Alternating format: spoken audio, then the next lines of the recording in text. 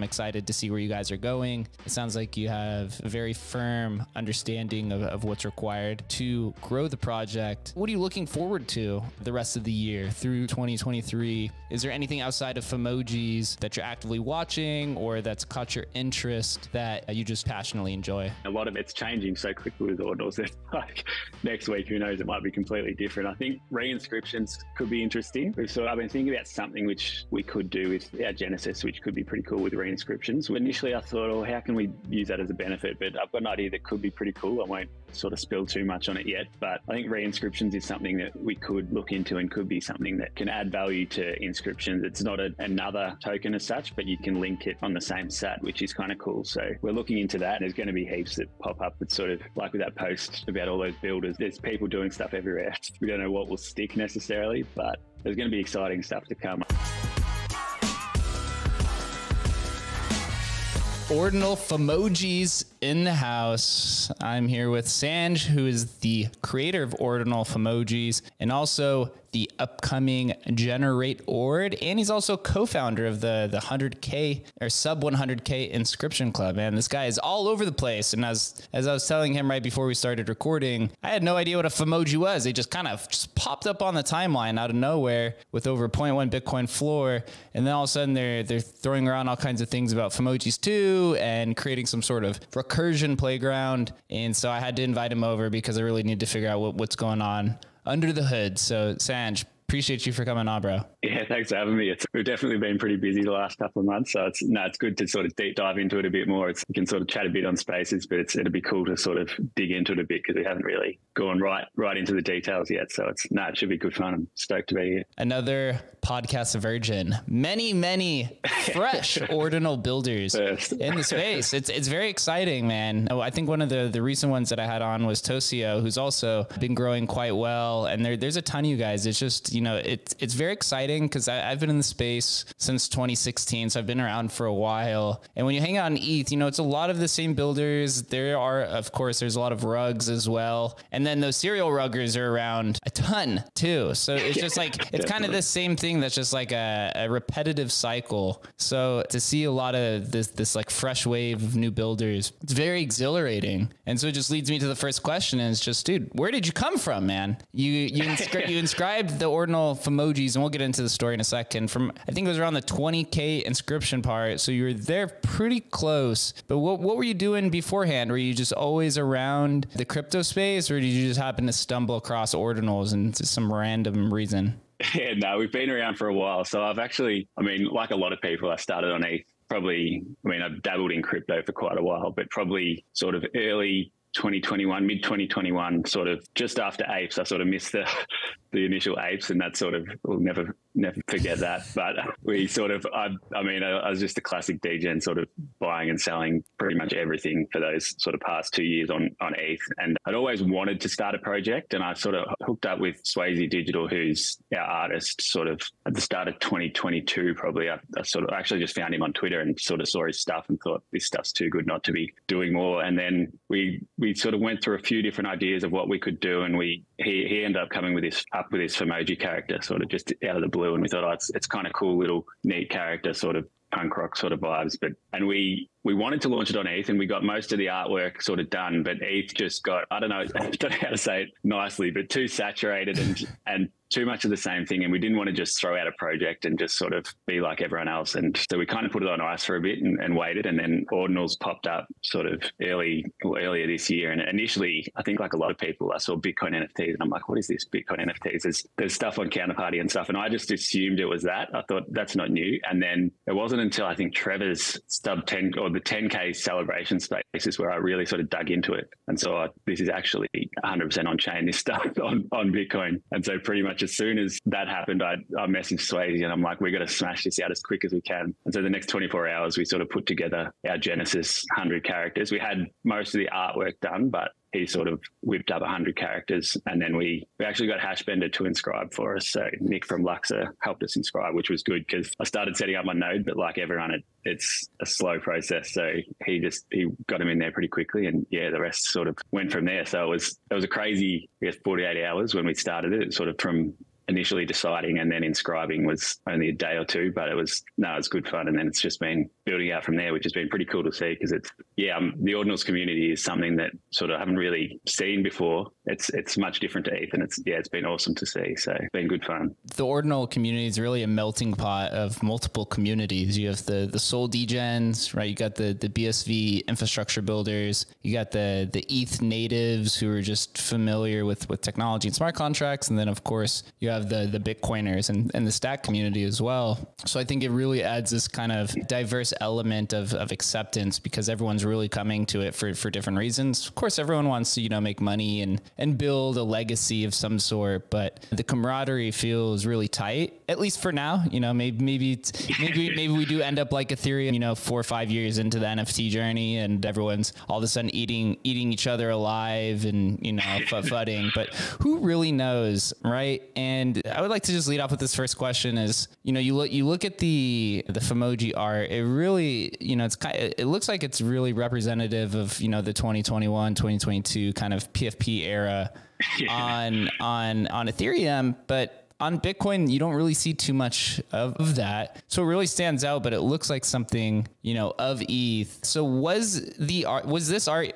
you mentioned was originally intended for for Ethereum. You put it on Bitcoin. Before you did, you know, kind of inscribe it onto Bitcoin, was there any intentions to to change it based off of, you know, maybe this new culture that you might be entering? Yeah.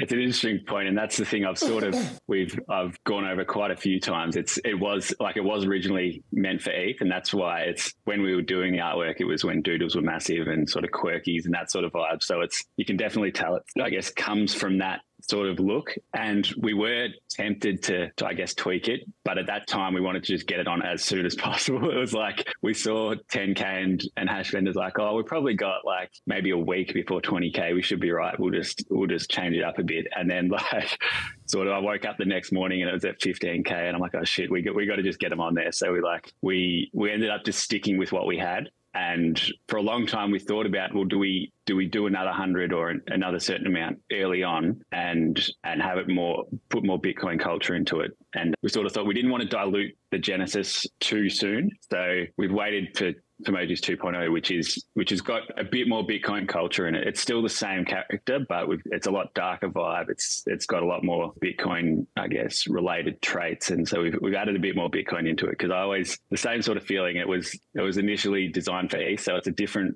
vibe to what most of the Bitcoin collections are, which is it's kind of good because everyone's got different opinions, so we're a bit unique in that way. It's and I think that's probably why initially we took a while to get noticed because it it was much less of that Bitcoin vibe. Like there was most nearly all projects with like pixel art and and that sort of thing. So it's a very different vibe, but it's it's it's good. It gives people, I guess, something different to look into, and it's uh, yeah, 2.0 will be a bit different. It's a it's a bit darker and sort of Bitcoin vibes. So that should be good. Hey, we're 22 million inscriptions in, and it's still pixel art for the majority of it. Pixel, pixel exactly. art and well, te- so much text. cheaper. yeah, no, no kidding. I, I mean, I hope, and I'm sure all, all, of your community does as well. All you got to do is throw an orange background on the back of the the next one, and, and you are pretty good. We did whack it through a few orange backgrounds in there. but We didn't go too too much on it, but yeah, no, we've, we've added the Bitcoin vibe to it a bit more. Before we dive into a little bit more of, you know, the mechanics and, you know, a little bit more of the, the granular idea, granular idea of, of Fomojis, how would you describe yourself as a leader? What was your, what was your background? I, I know you mentioned that you'd hooked up with, with the artist, I think you said it was Swayze. I saw on your website yeah. there was two others. Like, what do, what do you bring to the table that sets you apart of, of other founders? Yeah, so I actually, I mean, obviously I wasn't in NFTs my whole life. I, I actually started studied engineering and finance at uni, and so was sort of working in civil engineering for for a while, not too long, and then I sort of moved into crypto and Web three because I just I wanted to do something myself. I sort of I always had that entrepreneurial sort of bug and wanted to to build something myself, and it it just seemed like a place where you've got so much more freedom to to build what you want to do. And so we've the actual the other two founders are actually my brothers. They're sort of they still work full time in sort of the Web two world, But Vanix, who's our dev, he's I mean he's just he's a lot smarter than me, and he's he's done a lot of our recursive stuff, which he's kind of been doing some crazy stuff with that. So it's a lot of what we're doing is, I guess you could say we're we're trying to build with the Ordinals protocol because it's changing so often. It's like we don't want to set roadmaps and and I guess lock ourselves into certain things because one week this is all the rage, and then the next week there's this whole new thing. Like when recursion came out, we're like, we got to get on this straight away, and we quickly sort of built out a whole lot of things. So we're I'm, I'm not going to say we're we have a roadmap as such because it's it's it's definitely not that way. It's internal sort of, roadmap. That's right, what you keep. The internal exactly, yeah.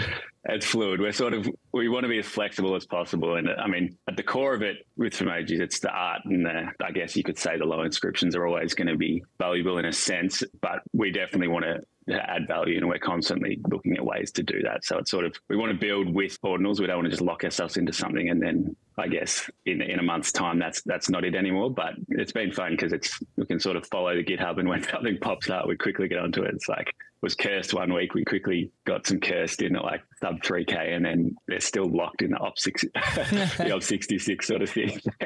we can't transfer them yet, but yeah, we've sort of gone down the recursion path now. I think that's going to be pretty massive. So yeah, it's going to be some exciting stuff with recursion. Yeah, uh, all the the kind of standards that have been proposed over the last six months or seven months of ordinal history, recursion seems to be the one that has the you know the highest degree of consensus that this is where everything is going. I know this recursion was was introduced by the the Ord core team, but it seems like this is where everyone's kind of gravitating around. But moving back to the the early story, came across this, and it's the yeah. hundred, yeah, the hundred Genesis ordinal emojis inscribed for eternity on the Bitcoin blockchain. But this is on OpenSea, and I believe this yeah. was this was a method that that uh, a lot of early collections used because one they generally weren't familiar with, the ordinal space. And also, too, there was just really not that much infrastructure. You had like two wallets yeah. at the time. Xverse was still trying to figure it out. Ordinal's wallet had just popped up. Unisat didn't really exist. So there was uh, a lot of the, I would say, the the founders and leaders of today leveraged Ethereum in the early days. But just t- take me through this this kind of experience of using the uh, Ethereum as this kind of redemption mechanism to to get your ordinal. Yeah, we sort of we rest wrestled with it for a long time because I, I wanted to stay as I guess as Bitcoin centric as as possible since we were launching on Bitcoin. And early days, as you know, it was sort of it was the infrastructure was not great and it was everyone trading on spreadsheets and that sort of thing and we initially we were going to be just straight ordinals but we sort of i guess a lot of what we do is we ask the community what they want, and nearly all of them wanted wanted to start on ETH. They just weren't comfortable with holding their ordinals. Like they they much preferred us to hold them, which we were sort of like, well, this is decentralization. We want everyone to have it. Like it's trustless, but they preferred to trust us. So we went with what the community said, and so we launched sort of an ETH burn pass and then like a few weeks later they could they could burn it for the actual inscription we just send it to them. So we we built a bridge that they can sort of burn it and it's been pretty good. We've got there's only three stragglers left on there so we have almost got them all over but yeah it's it works well because it, it helps for people to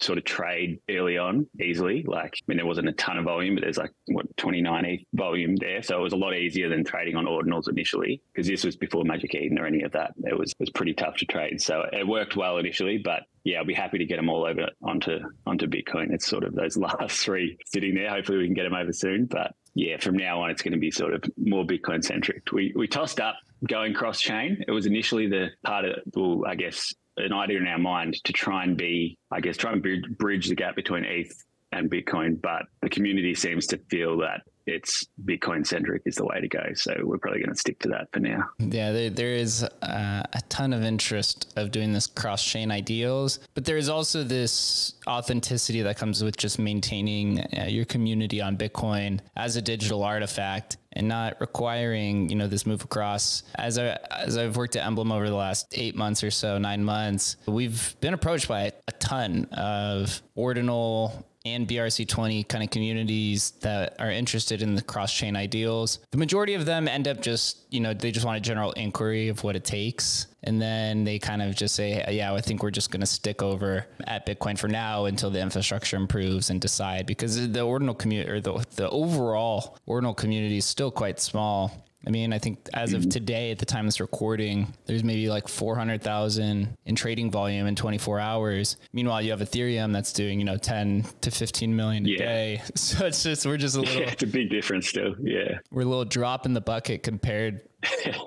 compared to them, compared to you know the I guess you'd say the big brother of the the NFT ecosystem. Although Bitcoin is a little bit older, but moving into you know where we sit today, and before we dive into or Fomojis 2.0, how long did it take for you to really, you know, set up operations as a team? That that OpenSea page said it was created in March, and now we're recording in August and it, on here on your Ordinal Fomojis Twitter account, uh, you teased the first of Fomojis 2.0 towards the end of June. So there's maybe this like three month window of, I, I, guess, trying to familiarize yourself with the community and figure out what you wanted to do. Take us through the mind of, you know, Sanj and tell us like, what did you do over those three months and, and how difficult or, or how difficult was that experience or did it come together a lot more frictionlessly than you expected? Yeah. Yeah, it was interesting. It was it was definitely a I guess a pretty fluid process of building out along the way. It's because we started small. It's only 100 people. We sort of we wanted to really build our team from the community. Really, I feel like the most sort of passionate people are going to be people who actually own the project and want to be involved. So basically, all of our team are holders originally and then sort of decided to come on as part of the team. And it's it's still basically volunteer sort of mods and that sort of thing. But yeah between the genesis and the 2.0 we we sort of tried a few different things. We had i guess the main thing was was upgrading the art for 2.0 to get that i guess more bitcoin feel to it. And we we played around with a few different characters or a different changing it up, but we felt to stick to the original character was probably good because there's only 100. We wanted, I guess, more out there. It's the 100's awesome to get a really tight knit sort of community, but I think with any project to get that reach, you need more than 100 people to be really noticed sort of on Twitter and that sort of thing. So the genesis is always going to be, I guess, the OG and sort of everything we do will sort of the value will well, they'll be, get, be getting the maximum value out of it. But 2.0 is, I guess, the way to expand the community and give people a cheaper entry. It's sort of, we have a lot of people that want to get in and they can't quite afford it. So if we can, can have a bigger supply to allow more people to get in is, is helpful. So we sort of we had that artwork done for a fair while, but we were, I guess, wanting to do something unique and, and innovative to, in a sense because it couldn't be low inscription numbers anymore obviously it's boomed over 10 million pretty quickly we wanted to do something that that people hadn't done too much of and that's when recursion sort of came in it. Like we actually didn't plan to be recursion before and we knew it was sort of on casey's i guess you could call it roadmap but we we didn't sort of plan it and then as soon as it was merged i think i was on on a trevor's podcast or something again he said trevor's always got podcasts going and they sort of said oh recursion just merged and i sort of thought oh shit i gotta look into this and then pretty much the 48 hours after that again we were just like digging into it. We did a few little experiments that we launched like we launched this recursive sort of viewer which are, i think probably 10 or 15 projects used to it just shows your previous inscriptions sort of like a to view in one inscription which was kind of cool. And then we we pretty much whipped up this I guess you'd call it recursive standard after that, which that took a lot longer, obviously, because we wanted to make it as, I guess, efficient and and pretty much the same as a regular inscription. Like it, it renders the image exactly the same. It's like you can right click save it, and it's but it's it's super efficient because it's it's using HTML, so the files are tiny. So we yeah, we spent a fair while on that and then we inscribed it sort of in June, I think. Can't remember the date now. But so, yeah, it was a few changes over the time, but I feel like this recursion thing was worth the wait. So I'm happy it sort of came up. Yeah, and it sounds like you've really had your hands full. Even kind of moving past the Fomojis, it says on your in your bio that you're a co-founder of the Sub 100K Club, and it seems like there's there's always clubs down the board, right? You have the the Sub 1K Club, there's the Sub 10K Club, Sub 100K, 1 million. It just it just kind of goes on forever. What inspired you to create the 100 the Sub 100K Club, and how has that been going so far? Is there anything really special about this outside the inscription number, or was this created just as a means to bring the the bring the the communities together who were essentially the equivalent of these early pioneers? Yeah, it was basically that. We sort of it, it never started off as something to be, I guess, to be much. It was because all of our projects were like a hundred supply. It was there was so few people in each community. We sort of thought, well, why not just get a whole bunch of communities together? And it, it didn't initially plan to be a club as such. It's it was just a bunch of other founders that I knew, or that I didn't actually start it. Someone else sort of, I guess, started the Discord originally, and then we all sort of came in there and sort of thought, oh, well, we should actually make something of this. And so there's there's about eight of us that sort of decided to keep on building with it. And it's it's basically just a hub for people to go to want to learn more about ordinals. It's there's no set in stone plans for it. It's it's just I guess a way to sort of bring the communities together because there was all these small communities couldn't do as much by themselves because they didn't have the reach. But if we sort of teamed up together, it, sort of helps. There's a whole bunch of us, which has been it's been pretty cool to sort, to sort of work together and, and get to know. It's yeah, like I didn't know any of these guys beforehand, and sort of become good mates with them. So it's yeah, it's been pretty fun just to just to work with all the other founders that are, that are here early on this this Twitter thread that you put up that says these are the people that you're most bullish on in the ordinal space, and it's ten tweets long. This probably got to be a hundred different names on here. Do you know all these people one by one? And did you learn anything from this i guess just this twitter thread of being able to you know diagnose over a 100 different people it might even be 200 on here and uh, yeah, kind of see what type of similarities yeah there are between everybody yeah i mean i didn't start off as as wanting to do it so big. I sort of thought, oh, I think someone else tagged me in a post of like a bunch of people, and I'm like, oh shit, there's a lot of good builders here in Ordinals. Like this is crazy, and so I thought, oh, I'll just I'll just post about a bunch of people who I've sort of, I guess, gotten to know over the time. Not gotten to know them all well, but I guess just interacted with over the time. And like, I started sort of putting a few in and it just got out of hand and kept going. So it definitely made me bullish to see how many, and especially now when everyone's sort of saying, oh, Ordinals are dead or there's there's nothing happening to see that all those people that I did tag were people that are sort of, I guess, still building now, which is is pretty cool to see. So it's uh, yeah, there's a lot still happening, and I think you'll will notice with a lot of these things, it's I think a lot of people are probably sitting on stuff that they've been building at the moment, and when things start to turn, I think we'll see a lot more coming out, and it'll it'll pick up pretty quickly. But it's yeah, it didn't plan to be so long, and then it just sort of kept going, and so it was cool to see how many there were sort of still building. Yeah, so here here's the the stats. So 0.2 Bitcoin volume in the last seven days, which is two sales. Of course, at the time it's recording, the ordinal market just completely imploded on itself. I think the volume's down probably like 80%. He listed out of 100 and the range 18,951 to 24,112. You have really good distribution. This was one thing I remember looking at that that caught me by surprise. The the largest yeah. holder only has 5 and then the number 10 holder has 2 and you have 80 unique yeah, holders. Is. That is that's quite unique. And getting an 80% distro is is really really tough to do, especially in a world like this that of Bitcoin where there are no smart contracts.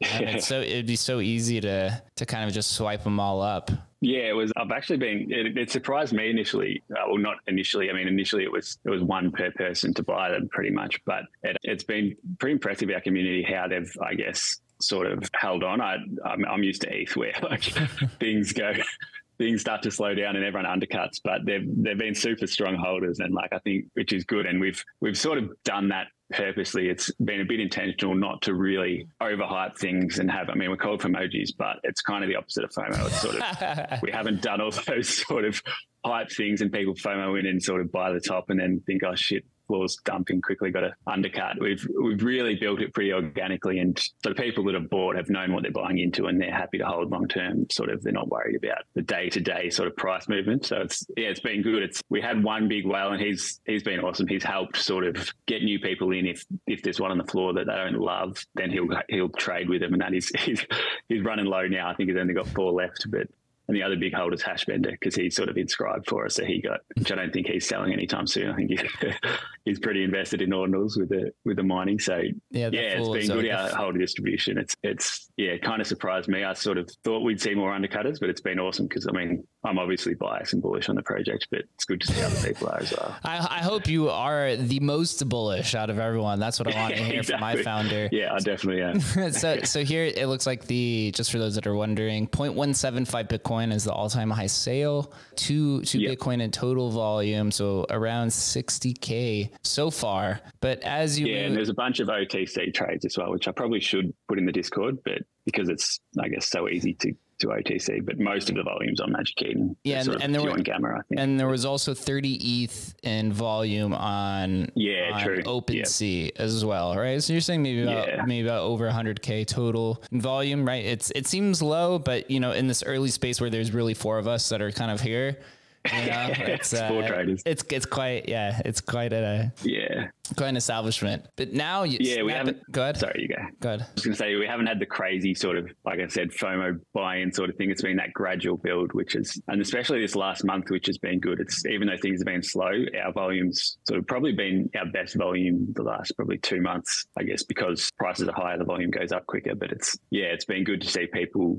sort of coming on board and starting to take more notice of us. It's been a gradual build, but yeah, it's we're definitely getting more recognition now, which has been good to see. And it's I think with 2.0 it'll be good because we're going to get plenty more people in the community. But it's it's not a rush at the moment with this market.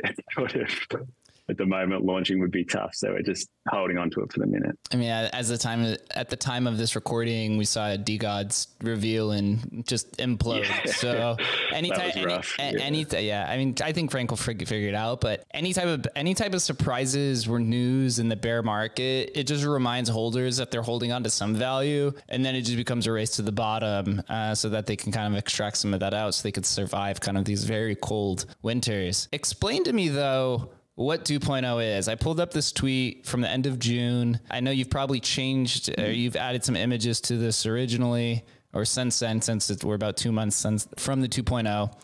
Take me through, give me give me the spiel, sell me this pen on Fomojis 2.0. yeah, so basically what you're looking at now is the pre-reveal image. So with recursion, you can you can basically all the metadata is sort of encrypted so that the images are actually there with sort of with recursion. We inscribed all the traits and then compile them using this GeneratORD which is kind of the the standard we've created and it it, it renders them all. So they they are there but it's all encrypted. So until we inscribe the key which sort of decrypts them all it's just that fallback pre-reveal image which a couple of projects have done it. Ocm sort of did it for an hour or so before they, they revealed pretty much straight after the sale. But we've sort of kept it as a, I guess that's obviously a long reveal period. We haven't done the sale yet, but we think it's kind of cool because you get that, I guess, pre reveal lottery, call it sort of. It's, it's always exciting waking up on reveal day and sort of seeing what you got. So it's something which before recursion we couldn't do. And so it should be cool to see how that all goes when we sort of reveal it. It's still going to be a while away, but yeah, that's sort of the, the start of it is what you can see now. The other thing we've done with it is we've actually made the PFPs dynamic. So each person gets sort of, I guess, two in one in a sense. They get a light mode and a dark mode. So every day we kind of based it around Hal Finney and block 78s because it's all inscribed on block 78s. But so at 7.08 a.m., it automatically sort of transforms to the day mode. And then at night again, it, it, it goes to the night mode. So people can choose between sort of light or dark because we we found that we liked a lot of the dark sort of, I guess, darker vibe. But some people also like the light vibe. So we thought, well, why not give them both sort of and they can choose. So they they'll it'll always be linked to that inscription. It's it's one inscription, but they can choose which one they want to use as a PFP. So it's yeah, it's pretty cool. There's heaps you can do with it. We kept it pretty simple because I think with rarities and that sort of thing, if we started changing all these random traits and, and made it all sort of changing every day, it could people could get a bit confused and they find something they love and then all of a sudden it's changed. But they we kept it just to the background. But it's I don't know, it's kind of cool, and I think we'll see more of it. I know Trevor's doing something with the the ninjas, which is cool, and there's there's going to be more people do a lot with it. It's yeah, it's it's a cool dynamic that I think we'll see a lot more of because it, it, gives you the best of both worlds, and it's not diluting it in a sense. It's still the one token. So yeah, they're the, sort of the main things. We've got a few more tricks up our sleeves, but we haven't released it all yet. But yeah, the dynamic is one of the, the main features of the art, which is pretty cool. have you released the the supply amount? Do we know how much? Yeah, we is? have. So how much? The supply is two thousand nine, so it's it's on the higher end. I mean, it's I, we we tossed up how big to do the supply for quite a while. It was, I mean, we had the 10k project sort of going crazy when we initially started it, but we never wanted to go that big. It just there wasn't enough people in ordinals, and then we thought about maybe a thousand, but we thought we don't want to get, do a thousand and then feel like that's not enough, and so we sort of we went with 2009, and it's obviously an iconic number in, in Bitcoin. It's when when it all started, so we thought that was kind of cool to link it to that, and similar supply to I guess other projects that have expanded. I mean, OMB's 2100, I think, and it's it feels like a good middle ground to sort of I guess you can get enough community to get that network effect, but not dilute things too much. Have you mentioned what the mint price will be, and is there any sort any type of reward for the the original owners of the the 100 like for example i know omb did this where everybody who owned the i think it's blue eyes or red eyes they got four mints I believe with some other collections they do some type of reward mechanism. Have you announced anything about that? With is is there any benefit to holding the original yeah. OG before yeah, this mint happens? Yeah, so we haven't announced it officially yet, and same with mint price. We'll sort of leave that till closer to the date, but it's not going to be crazy expensive. We want it to be affordable for people. But the Genesis are basically going to get one, I wouldn't say a lot of the allocation, but they're going to have a say in a lot of the allocation. So the way we're going to do it is it's a bit of a cross between what Peepos did and what OMB have done. So Genesis is only 100 supply. So it's we will probably have a certain amount. They'll all get one airdrop for free, and then they'll get a, a certain number of whitelists and a certain number that they can nominate people they want sort of to to be on part of it. So it's I think it's a good way to try and get people they think are going to be good for the community. I mean, you, you might get people trying to submit burners and that sort of thing, but I think our community is pretty good and they want what's best for the project. So it's sort of it helps rather than just all the the giveaways and people botting giveaways and all that sort of thing. If they're picking people they actually feel like are going to be a good fit, it should hopefully build a bit of a stronger community. So we haven't announced the exact numbers, but it's yeah, it's it's going to be a pretty decent allocation of the supply that Genesis holders will, I guess, have a say in. Not going to be insane like they hold half the supply, but it's going to be yeah, we want to reward them. I mean, they've stuck by us, and they the whole I guess the whole point is to reward the Genesis holders. They should get the max benefits, so it's they're always going to get the most benefit, but we obviously other people coming on board will get plenty of chances. Right? I really did it, uh, like the the OMB method of I don't know if uh, the Inscribe Pepe people did that as well, but nominating others to to participate in the community yeah. through Mint. Of course, some people will sell, some people will maintain it. It just allows for a, a better distribution. I mean, I don't know if you could get to eighty percent again with these newer ones. yeah, that'd be tough. Yeah, but you know, to try to get over, I'd say sixty percent is like a very good range yeah. to be in, to where you'll have an adequate amount of, of trading activity, but also a large amount of of holding activity because that's kind of how you increase the floor price is a lot of people holding comparative to the amount of traders that are existing. So that's really cool to see. Yeah i'm gonna i'll try to participate in that as well and see see where we go if there's any nominators out there you know. Hook, hook, your boy up. Yeah. but I, I, I, we, we, we talked about this before we, we had this conversation and this is what the the GeneratORD is what led me to reaching out to you to to have this conversation because I, I'm a big fan infrastructure. I work for an infrastructure company. I've really always been fascinated with, you know, kind of, uh, you know, the nuts and bolts of the, of the system. And right on the screen here, I've pulled up the, the diagram that you have published, although the GeneratORD is not live yet for others to use. From my basic you know, monkey brain understanding. This is a way for people like me who have no idea how to code to dabble into the recursion ecosystem. But can you add some additional context to why GeneratORD, why turn it into a product, and how does this make it simple for everybody else to participate into this like recursive, this new recursive life? Yeah, so it's sort of it started, I guess, with our actual with Fomojis 2.0 as we are building that out we we I guess spent a fair while working out what was the best method and how we could do that most efficiency and, and efficiently. And sort of Vanix, who's our dev, sort of built this out. And it was we had so many people reaching out to us saying, "Oh, can you help us with recursion?" And like there was just too much for us to to help. Like we couldn't help everyone. And so I thought, well, instead of trying to help everyone individually and, and, explain it to them, why not just create a tool where they can easily, we can just say, go to this, input your metadata, input your traits, and then go from there. Our, our uh, sort of back end will do the rest for you. So it's, it took a while to build out and it's still, it's, I mean, it, it works now, but we haven't quite finished the front end. We're just sort of, I guess, tweaking a few things and making it as, as simple as possible for people to use. But yeah, we feel like it's, it's a good way to help people do it that don't have the technology because it's it's simple in a sense, but it is complex as well. So it's like if they can just sort of drag and drop pretty much what they need, we can we can still help in a way if they need, but we feel like most people should be able to do it without too much technology. So it's yeah, it should be good to to help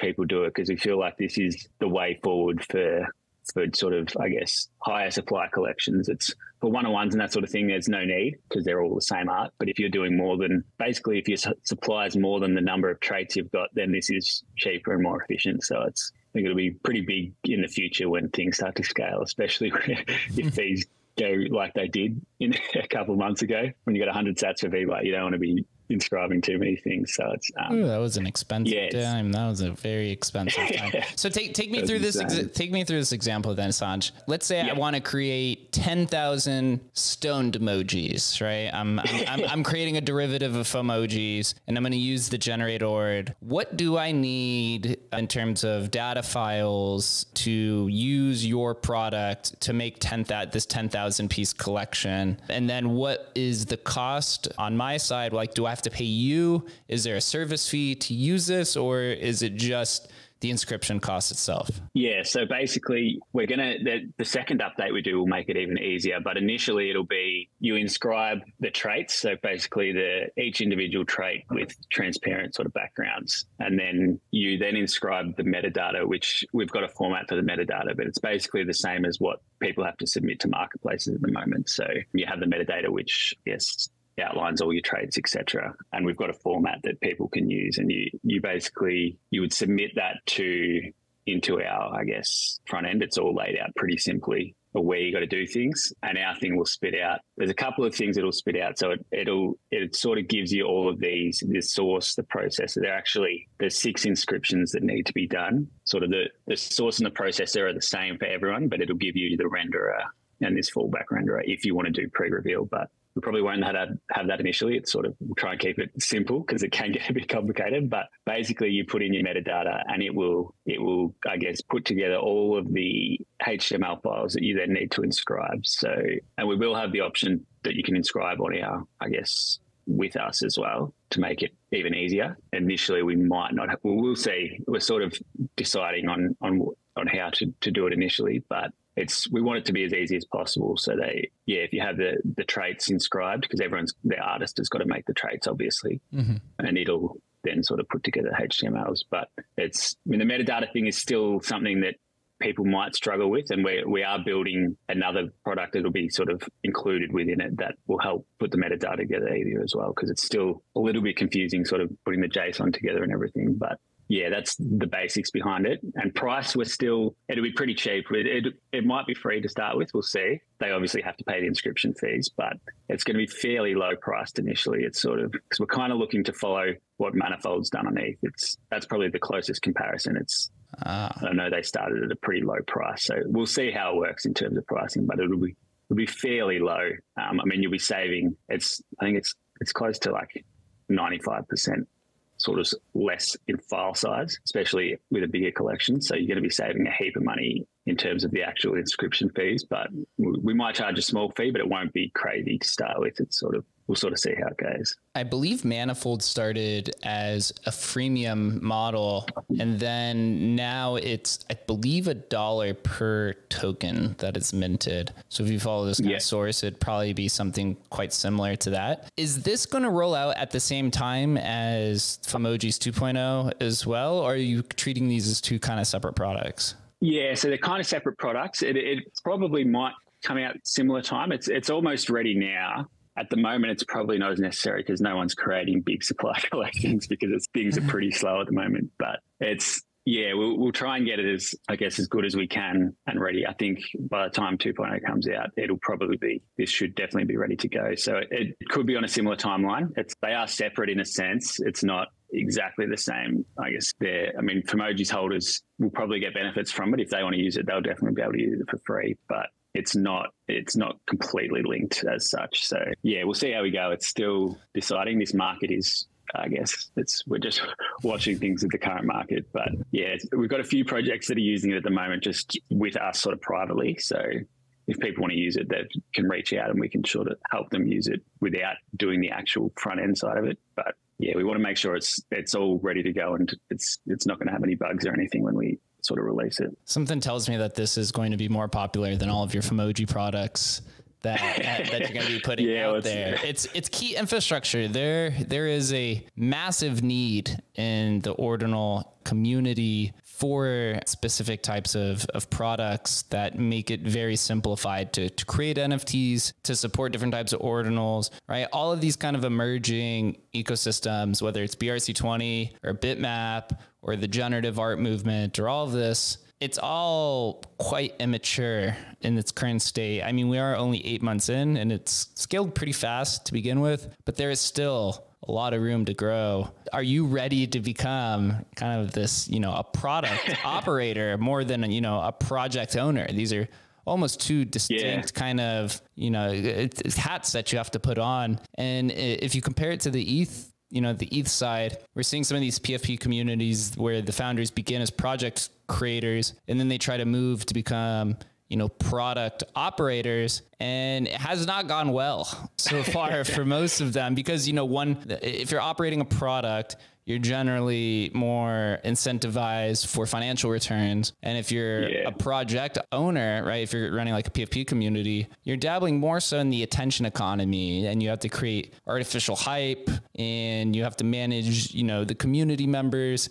So they're they're kind of you know they're kind of it's kind of you need like a yin and yang to be able to do it. How do you think you'll be able to wear two hats and and run both? Yeah, things? it's going to be interesting. It's we'll definitely want to scale things. I guess the team a bit to to try and separate it if it if it becomes really big. It's to start with, we're keeping it. I guess that's why we haven't tried to hype it too much. We're keeping it sort of low key and just and just seeing how it goes initially. But we definitely feel like, and I guess with a lot of NFT projects, sort of there's no there's no royalties, and you can't just keep selling NFTs for for revenue. So it's it's definitely a revenue stream that could could be helpful in the future. But it's yeah, working out how it works with Fomojis be sort of we'll have to have a good think about that and, and see how it works. It's it's I'm not going to be leaving. I think Fomojis is always my my priority. But I think tooling is massive, and so we can use it to help I guess, for another source of revenue and also, yes, just help other creators sort of build. It's we haven't fully announced what we might do with it, but we've got some plans to use it for something else. But I won't say just yet.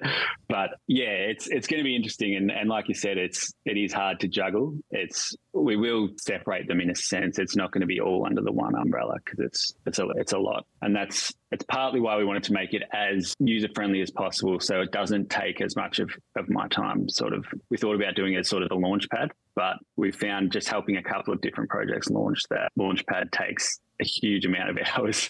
There's a lot of back and forth, and it often ends up like you're just launching another project not mm-hmm. not fully, but you you have to put a lot of hours into it. So we we want it to be mainly the the creators of that project do most of it, and it's just using our tooling, so it doesn't take an enormous amount of time out of us. But yeah, it's it's going to have to be, I guess, pretty flexible and sort of agile as we go, as we build it and see what works and what doesn't. Because Ordinals is is always changing. So yeah, we're not set in stone for what we do with it yet. Vanix, who's our dev, that he's sort of the main man behind that, GeneratORD thing. But we'll we'll definitely need to bring on some more people to help with it if it starts to grow. So as long as you're prepared for yeah, it, no, no, I know, I've, ready I, for it. We we sort of thought about that for a while and and sort of thought, do we want to get into the the infrastructure side of things because it's but we felt it's a big gap that it can be a massive help for people to to sort of build out ordinals. So we thought, why not? We've got it there. Why not make it easy for people to use? So yeah, there. I mean, there is a there is a trend. It is quite obvious of where the the leaders of ordinals are going. I generally start with some sort of PFP or some sort of image project, and then you kind of move into the infrastructure side. I had you you were doing this right. You started with Fomojis, and now you have GeneratORD. I also had Jerry on here who started with Dogepunks and then ended up with Luminex, and then started creating some other proposals. On the other side, I had on Good who started with MXRC, and now yeah. he's doing the ordinals, and now he's doing also doing like kind of a recursive playground kind of ideas. And I believe the the the reason why this is, and kind of the heart of the problem that you mentioned, is that there are no royalties on Bitcoin. It's it's mm. it's unlike it's it's unlike Ethereum where you have royalties set at an X amount and then the marketplaces kind of own that share and then it's a race to the bottom. Here it's just zero. It's it's a different type of environment. Do you think this is I guess you would say a bug of the ecosystem?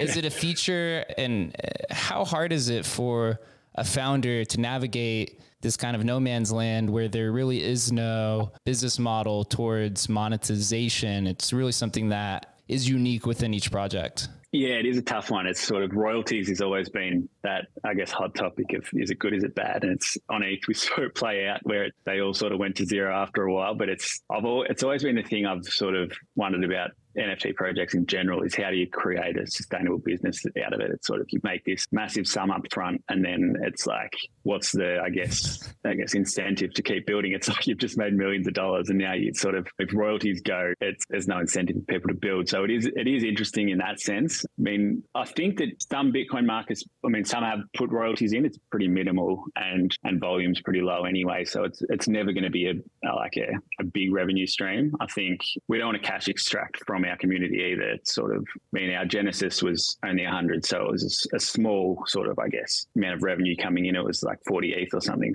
at the time we did it on ETH, so it wasn't crazy, but it, it helped give us a bit of runway to build to what we are now but yeah, I mean, projects need to make money to continue building if they want to continue building. I think like our genesis is always going to be a collectible like it's it doesn't need to have any utility. We sort of and a lot of people don't want to have utility, but we kind of want to build other stuff as well. So that's where Generate can help bring in some revenue. I mean, Fomojis 2.0 will be be charging something for it, but it won't be a crazy amount. But it'll help, I guess, give us a bit of room to expand. But yeah, it, it is an interesting one, the royalties thing, and I don't know if anyone's found the answer yet of how you create a, a sustainable NFT project. I think using IP like what Luca with Pudgy Pen Penguins has done as being a pretty big thing, and that's that's obviously difficult to do. I mean, we've got a pretty unique IP, which could be has maybe a bit of sort of mass appeal compared to some of the darker sort of Bitcoin projects, but it's at the moment we're still focusing on the Bitcoin market. We don't really want to go down that path yet, but you never know. We'll see what happens. But yeah, it's it's a, it's a tough one finding the, the best move for,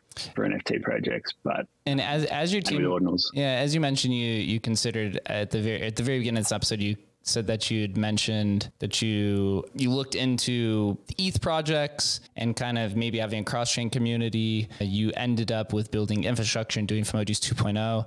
Did you look into any of the other components of the Ordinals ecosystem, maybe BRC20 or the generative art or rare sats. I mean, you're using Block 78 yeah. or something like Bitmap and Metaverse or gaming. Did the Fomojis team look into these other ecosystems at a possibility of maybe trying to move or add this additional feature that is Bitcoin native to the Fomojis ecosystem? Yeah, definitely. We've sort of basically looked into all of it. I mean, I was sat hunting, I've been sat hunting for sort of a fair while, which has been good fun. And sort of always wanted to do stuff with the rare sats and we decided to do it on block 78s because it was a higher supply so it was and the block 78s aren't the main value but it's kind of a cool benefit i find it pretty cool being linked to Hal Finney it's sort of just an added piece of the story and we've got uncommons and block nines that we're going to do something with as well. But yeah, it's we've we've thought about it all. BRC twenties I always found ridiculous, but also loved it as well. You're not a fan, huh? Time DJing. No, I am a fan. I, I do like it. It's just and I, it's probably because I, I missed out on a massive bag of because I, I, I thought, oh, this tech can't scale. This is ridiculous. And so I didn't, I sort of faded it initially, but I mean, I still did pretty well sort of later on, but it's, yeah. And we looked pretty deep into it about what we could do with it. And a lot of people in the community sort of are sort of oh, when FOMO kind, when this sort of that. But I felt like, I mean, I've seen it so many times on ETH that majority of projects that launch I guess NFT projects that launch a, fungible token never doesn't end well most of the time. I mean, like I, I, was sort of part of Cool Cats back in the day, and their their milk token. It's almost like the token price then started to set the price of the NFT. It's like if you're only yielding this amount, then oh, that's NFT shouldn't be worth much. But it's not. Ne- that's not necessarily how it should be valued. The NFT was worth a lot before the token. And so we didn't want to link ourselves to a token which is probably going to go down. I mean, it's real. It's pretty rare that it ever actually does well. I mean, even ApeCoin has has pretty much been down only. So it's it's a tough one. And if we had something that we could use it with and create utility with it, we definitely